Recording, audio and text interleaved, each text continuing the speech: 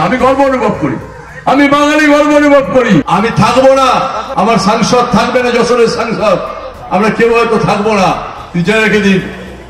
এই বাংলা ও বাংলা এক হয়ে যাবে, জেনে রেখে দিন। একদিন হবে। ওপার বাংলায় আতঙ্ক চলছে আমাদের। আমরা ভীত হয়ে গেছি। আমরা যারা এপার বাংলা থেকে ওপার বাংলায় গেছি, যারা আছি তাদের আবার বিদায় করে দেওয়ার পরিকল্পনা হচ্ছে। তীব্র ভাষায় প্রতিবাদ জানিয়েছেন বাংলার মুখ্যমন্ত্রী জননেত্রী মমতা বন্দ্যোপাধ্যায়। তিনি বলেছেন আমি মানি না। আপনারা পাশে থাকুন। আপনারা আমাদের পাশে থাকুন। এই কাটাতান আমরা চাই না এই কাটাতান আমরা করে দিতে চাই।